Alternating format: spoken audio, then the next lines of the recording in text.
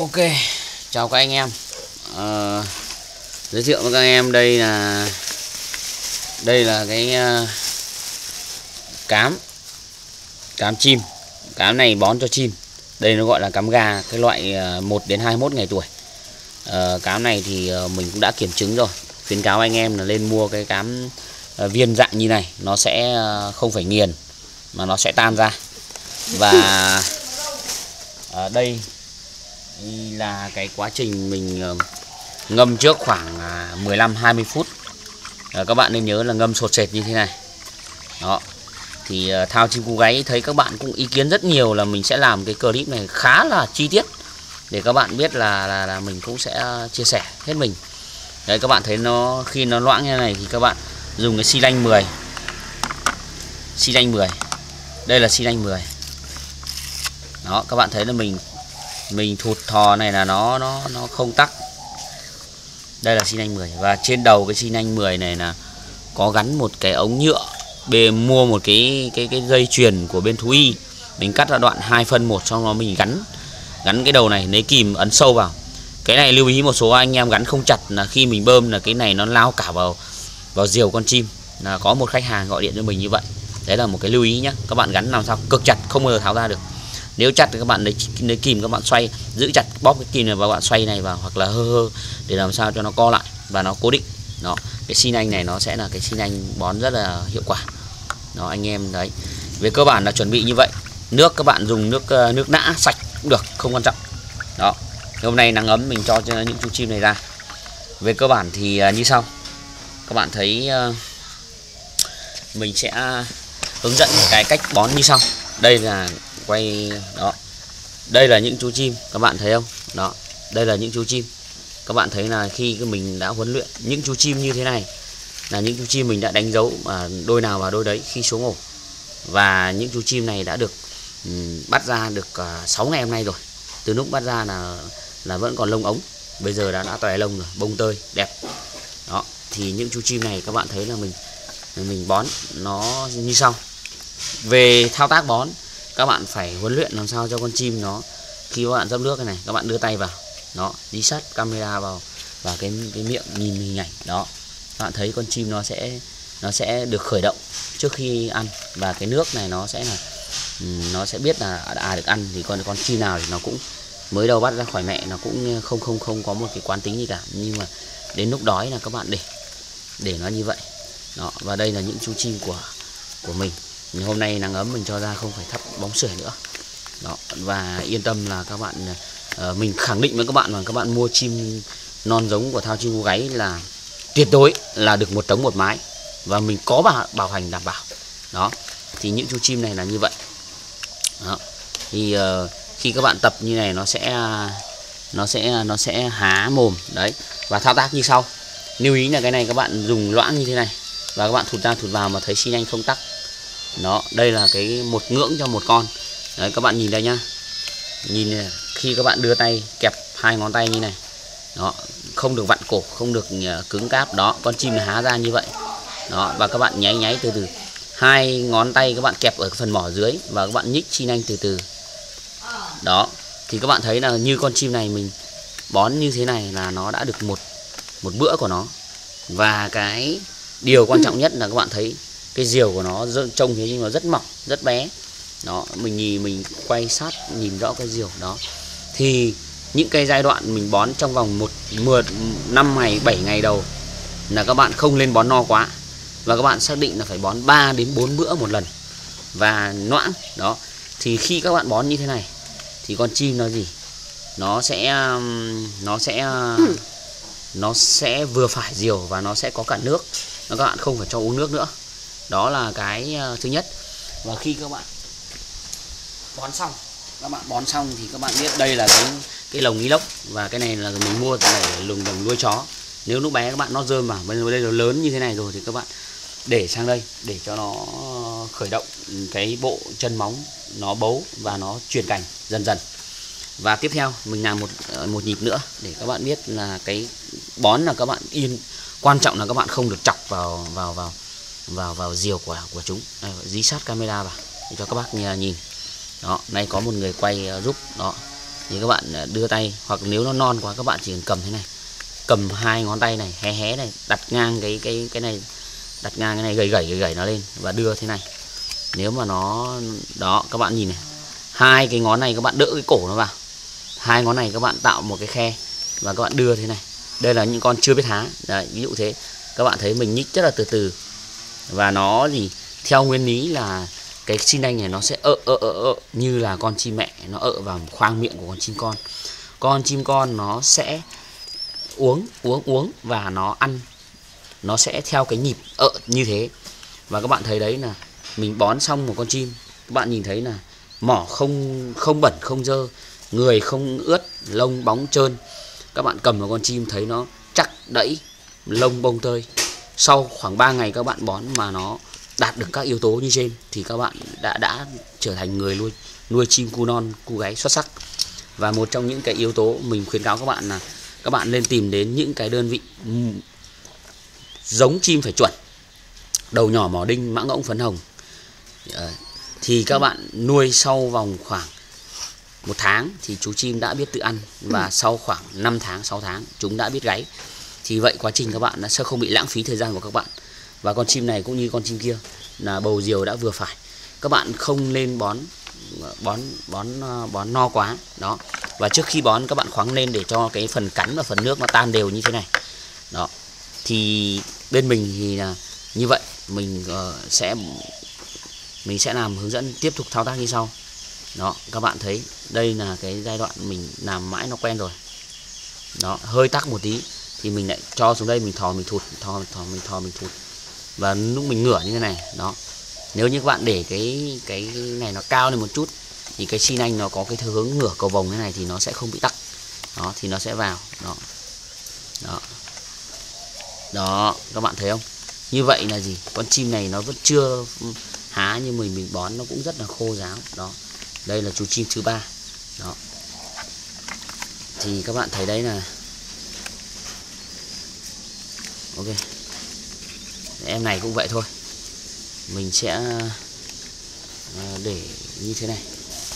Mình sẽ để cái này lên trên để cho nó cao và cái tư thế của mình đúng theo hướng dẫn các bạn làm theo. Đấy, như thế này thì các bạn thấy là cái tư thế rất là chuẩn. Cái xin anh các bạn để thế này. Đó và con chim các bạn để thế này. Đó. Các bạn ngửa lên. Đó. Các bạn ngửa lên. Các bạn ngửa lên thì những chú chim này các bạn thấy là gì? Mình sẽ háy cái miệng nó ra và mình đưa nó từ từ thế này, cổ từ từ này. Các bạn nên nhớ là mình sẽ ờ, khi con chim nó bị lỗi là một phần là các bạn. Mùa này nó rét, các bạn không ờ, ờ, để nhiệt độ như cái này là mình để một cái bóng sưởi để lên đây. Cái bóng sưởi này có nhiệm vụ là mình cắm điện vào và mình để cái nhiệt kế ở đây. Cái nhiệt kế nó đạt đến mức độ khoảng 25 đến 27 độ. Đó. Nên là các bạn thấy là yên tâm khi các bạn sờ vào con chim. Ờ, một bầy chim nó nằm thế này, nó sẽ sờ vào người, nó nóng ấm và lông bông tơi.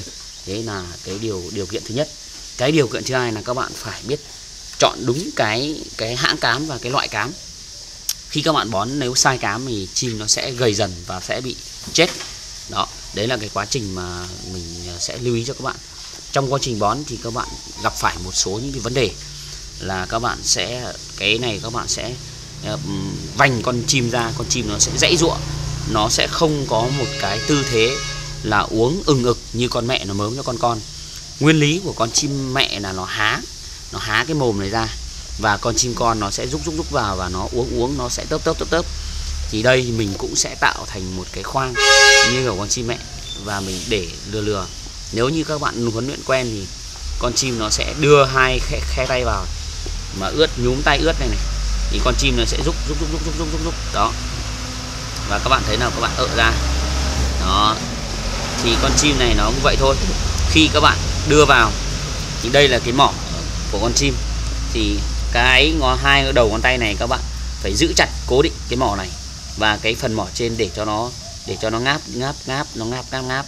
Và mình nhích xin anh từ từ ợ vào khoang miệng thì nó sẽ uống từ từ. Đấy là cái cái mà động thái để các bạn biết là nó giống hệt cái con chim mẹ nó nó ợ ra. Đấy, các bạn các bạn làm thế cũng được mà cách thứ hai là các bạn à, các bạn làm à, theo kiểu là giữ cổ và các bạn ợ từ từ vào. Đó thì thường mỗi một bữa với mình những con chim như này nó sẽ là một một cái xi lanh 10 một cái xi lanh 10 đó các bạn thấy đấy. Ừ, đấy.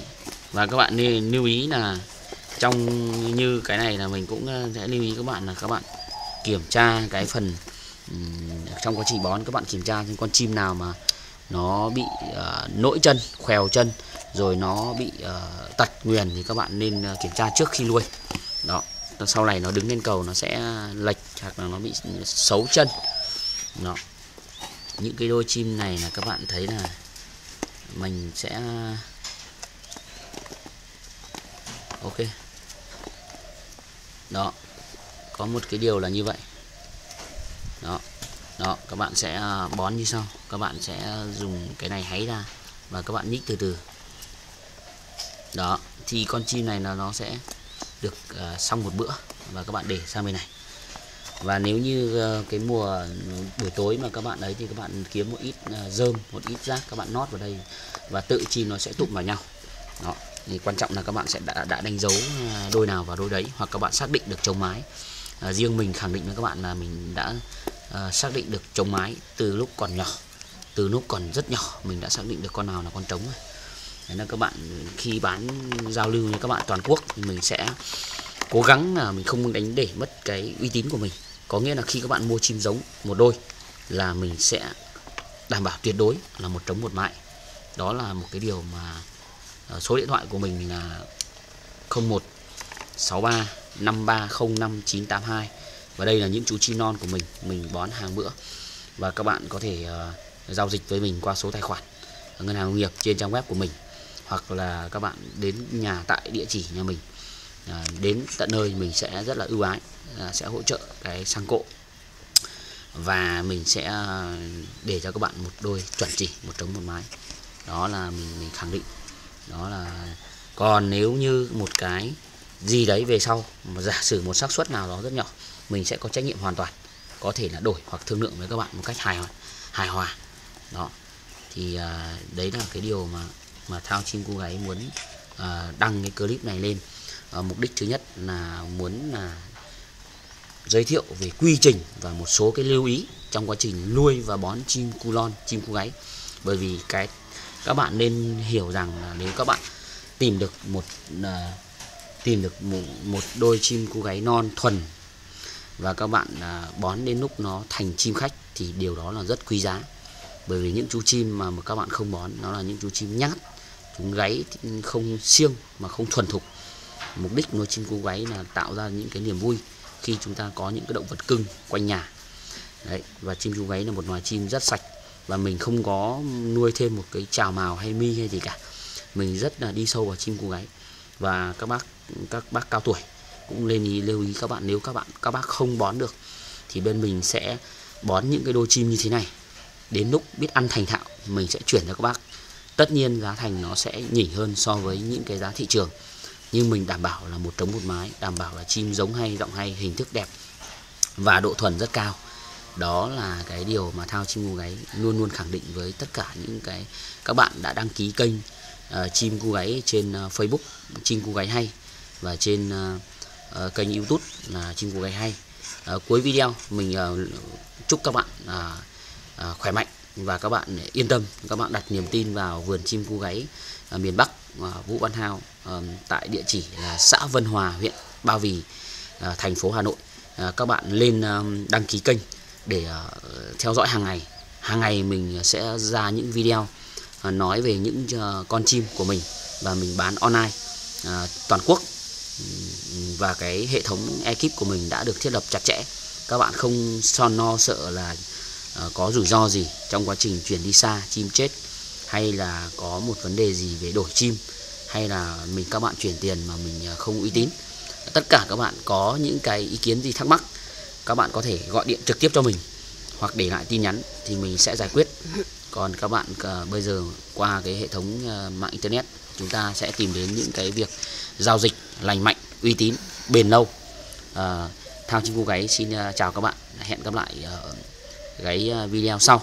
Và thừa phương châm của mình là bảo vệ uy tín và giữ chọn niềm tin cùng các những cái người đam mê uh, con chim cô gáy mãi mãi cùng chơi cùng giao lưu học hỏi và chia sẻ trên cái kênh mạng xã hội. À, thân ái chào tạm biệt. Đó. Cắt đi cất vào trong kia. Ừ. mang máy vào trong kia cất. Người ta đây quay chụp thêm cái đây, đây là phơi nắng này. Đây là đây là cái lồng à, chó này. Trị giá nó khoảng tầm không biết là ba trăm rưỡi hay bốn trăm đó. Thì các bạn thấy là cái cửa này nó là cái cửa lùa. Đó. Năm nay là mình vừa mới bỏ rơm ra, tí nữa phải lấy cái rơm mới. Đó. Đấy. đây là những chú chim mà chúng ta vừa bón xong. Và cho nó ra đây cho nó thoáng. Ok.